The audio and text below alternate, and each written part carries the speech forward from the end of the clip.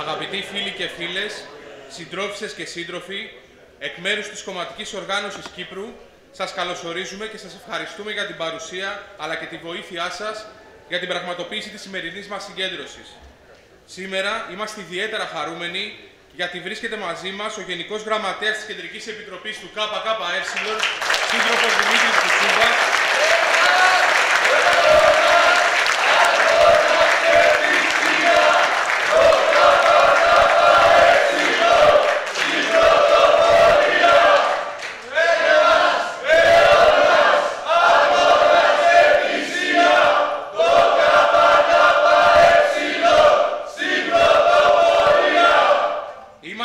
χαρούμενοι και μας γεμίζουν θάρρος οι αγώνες που προηγήθηκαν συνολικά, τους οποίους και δώσαμε από κοινού με ανθρώπους που συμπορεύτηκαν με το ΚΚΕ,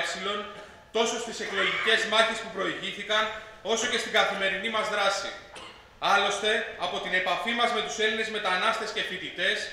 επιβεβαιώνεται η εκτίμηση ότι εκφράζεται μια τάση αμφισβήτησης της κυρίαρχης πολιτικής, της πολιτικής της Ευρωπαϊκής Ένωσης, την οποία ωστόσο μέσα από την ένταση της ιδεολογικής και πολιτικής μας δράσης, οφείλουμε να ενισχύσουμε. Οι Έλληνες μετανάστες μπορούν στις επερχόμενες ευρωεκλογές του Ιούνιου να στείλουν ένα ισχυρό πανευρωπαϊκό μήνυμα αντεπίθεσης με την ακόμα μεγαλύτερη ενίσχυση του ΚΚΕ για μια Ελλάδα και Ευρώπη του σοσιαλισμού, την Ευρώπη των λαών.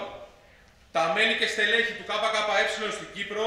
μαζί με τους Κύπριους φίλους μας, δίνουμε υπόσχεση ότι θα δώσουμε τον καλύτερό μας σε αυτό για την επιτυχία των στόχων μας,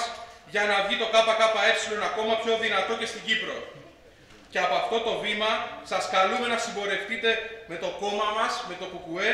για να σπάσουμε τα δεσμά της Ευρωπαϊκής Ένωσης, για να στείλουμε ένα μήνυμα πως οι Έλληνες μετανάστες που οι πολιτικές τους οδήγησαν στην ξενιτιά, εμπιστεύονται και στηρίζουν με την ψήφο τους τη μοναδική αντιπολίτευση, το μόνο κόμμα που βρίσκεται απέναντι και σε αυτή τη συμμαχία που είναι εχθρική για τους λαούς, το Κομμουνιστικό Κόμμα Ελλάδας.